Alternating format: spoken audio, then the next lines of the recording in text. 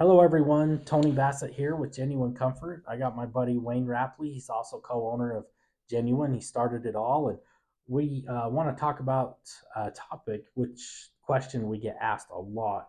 And when I go into these older homes, uh, the struggle with air conditioning, you see the registers on the sidewall versus on the floor, and usually they're on the interior wall versus outside where all that load is. So we're going to talk today on why move the floor registers to the outside wall versus um, the side wall? And in some cases, you just can't do it because you're, unless you redo the whole house, sometimes you're just stuck with what you have. So go ahead, Wayne, talk, let's talk about um, why floor and why against the wall versus the sidewall. Sure.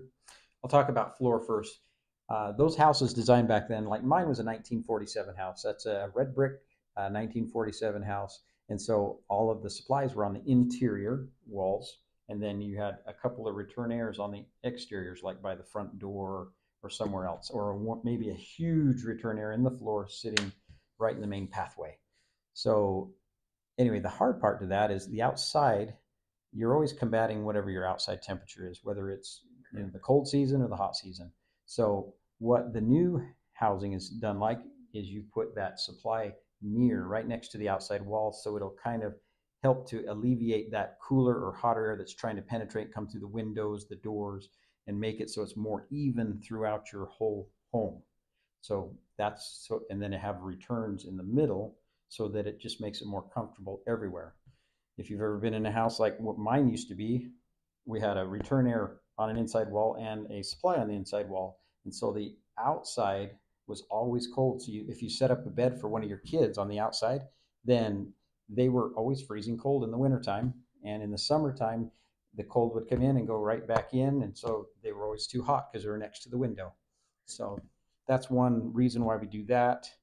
Um, but a sidewall versus a, a floor blowing up, if you can't get uh, your, uh, in an air conditioning season, at least three foot tall of air coming up, to mix with the rest of the house, it really does no good. It stays low.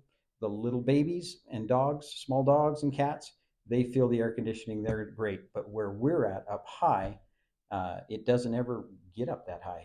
So that's why you want it to blow up versus sideways and straight into a return air down low. Hopefully right. that makes sense.